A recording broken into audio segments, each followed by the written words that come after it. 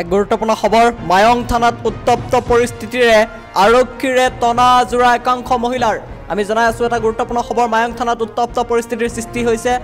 আৰক্ষীৰে টনা আজোৰা হৈছে একাংশ মহিলাৰ আৰু বাল্য বিবাহৰ অপৰাধত আটক কৰা অবৈধ স্বামী এই ঘটনাক কেন্দ্ৰ কৰি আৰক্ষীৰে সৈতে আজি একাংশ মহিলাৰ টনা আজোৰা হৈছে মায়ঙত।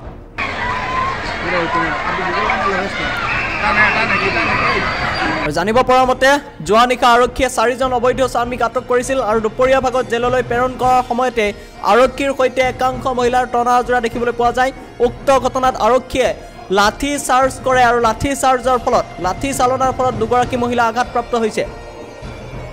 মায়ঙৰ পৰা আমালৈ সংবাদ প্ৰেৰণ কৰিছে মুচিকুট। জামানে আজি পুনৰবাৰ জনাইছোঁ মায়ং থানাত উত্তপ্ত পৰিস্থিতিৰ সৃষ্টি হৈছে। আৰক্ষীয়ে লাঠি চালনা কৰিবলৈ বাধ্য হয় আৰু আৰক্ষীৰ লাঠি চালনাত দুগৰাকী মহিলা আঘাতপ্ৰাপ্ত হৈছে।